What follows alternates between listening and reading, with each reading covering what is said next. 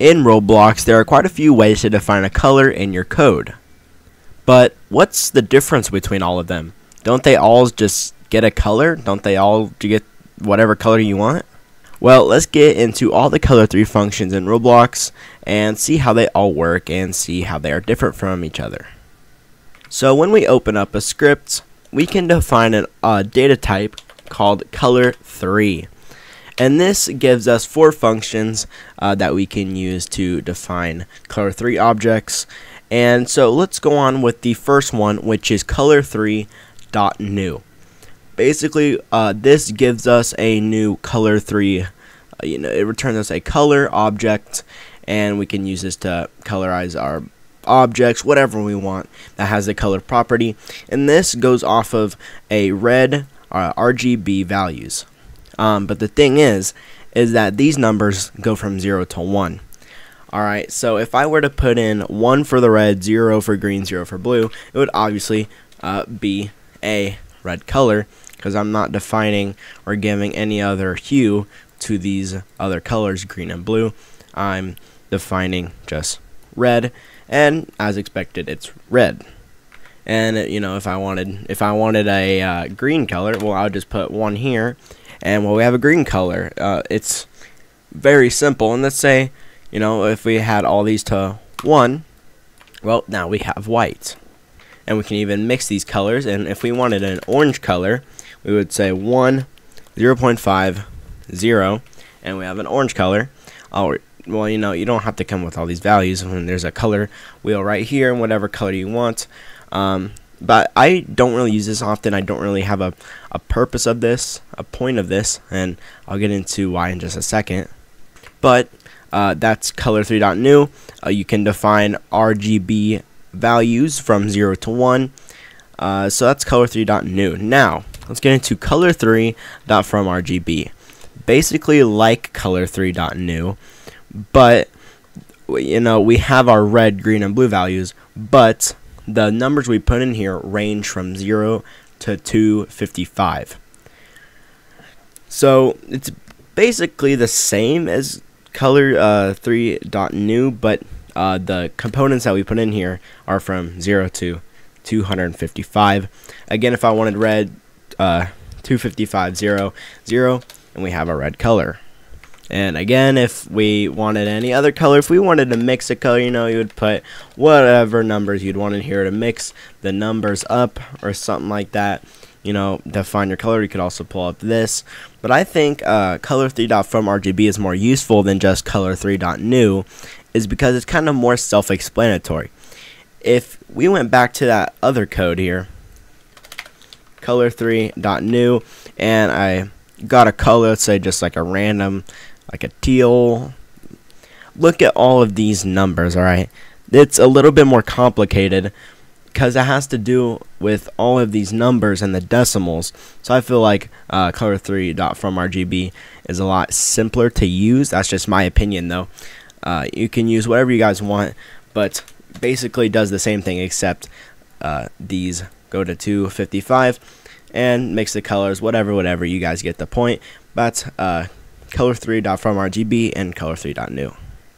And so the next one that we have is color3.fromHSV. And basically what this is, is you can see it up here, the HSV stands for hue, saturation, and value. So you put in a hue, which is a, a number from 0 to 1, saturation is a number from 0 to 1, and the value, which uh, is brightness, is from 0 to 1. So hue, saturation, you can think of this value as a saturation. Alright, so let's say I just wanted a red color. Well, I'd put in a 0 hue, 1 saturation, and a 1 of brightness. And if you guys didn't know, the more this hue goes up, it, it goes through the rainbow. So 0 uh, is red, and as it goes up, to 1, it changes throughout the rainbow. So if I put in 0.3, well now we have green. 0.6, we have blue. 0.9, we have pink. So it goes through the rainbow as we go up that, that 0 to 1 scale.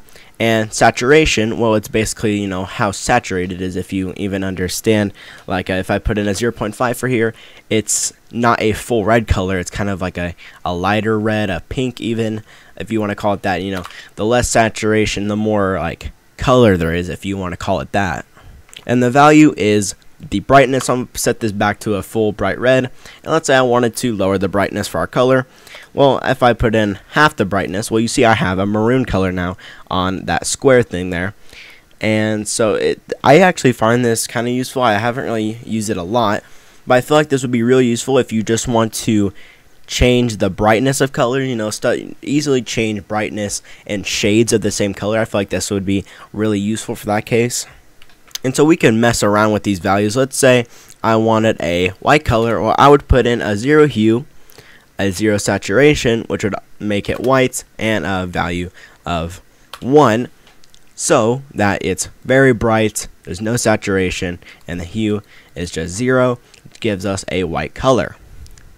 And if we just set this to 0, would obviously be a black color, because there's 0 uh, things, configurations being applied on either hue, saturation, or the brightness scale. And now the last one and probably the most complex out of all of them is color 3 dot from hex. Now what this does is we can get colors by uh, like setting the hexadecimal uh, setting the color in hexadecimal format.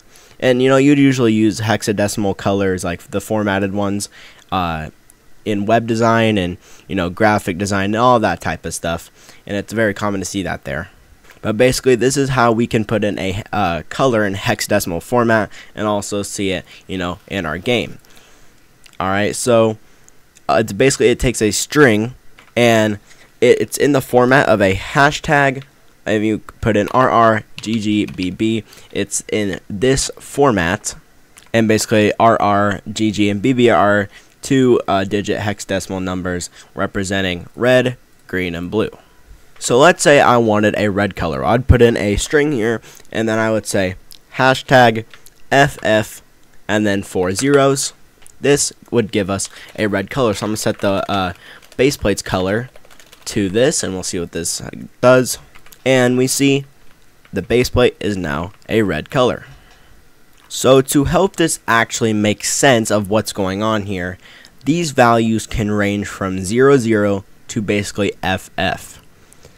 And what that means, since this uh, hexadecimal is a base 16 number system, it uses the 16 symbols 0 to 9 and A to F.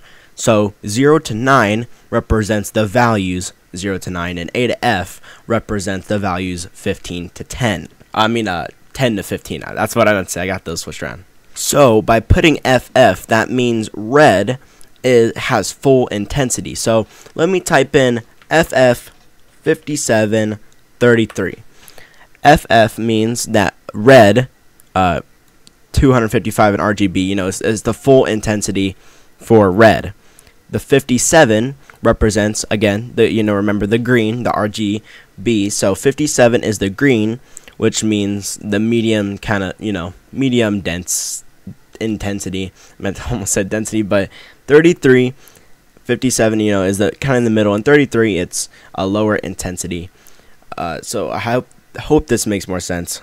So basically, wherever there is that FF symbol is basically where there's like the most intensity, and there's sometimes, you know, a lot of times FF isn't even in there. So if we had like zero, uh, zero, zero, FF zero zero, well then that means that green has full intensity, and it would be zero zero zero zero FF for you know, the full intensity to be for blue.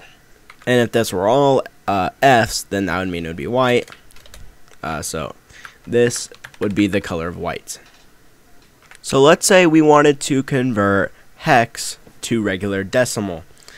Well, we would have to think about um, each uh, hex digit represents a power of 16. So the rightmost digit is uh, 16 to the power of 0 for the units place, and the next digit to the left is 16 to the first power for the 16th place.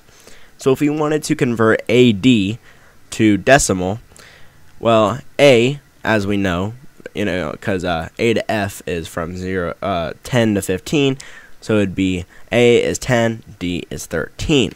So we actually uh, have to figure this out. So AD, you know, I'm just going to put this in a string so it doesn't error. It's actually uh, seeing this, AD is equal, and then we need to do some math, which would be 10, um, which is, you know, what A represents, and we need to multiply that uh, to 16 to the first power, and then we add this again to uh, parentheses 13, which is what D represents, times 16 to the uh, 0 power. And uh, out of all of this, this would give us, uh, uh, it would give us 160 plus 13, which is 173. So that's how you can convert, uh, you know, hex values to actual decimal values like RGB. So you can, you know, it's kind of a cool thing to help you actually understand these. And yeah guys, this was today's video. If you guys did learn something from this video, or you guys enjoyed this video, please hit the like button and the subscribe button. I'll see you guys in the next video. Peace.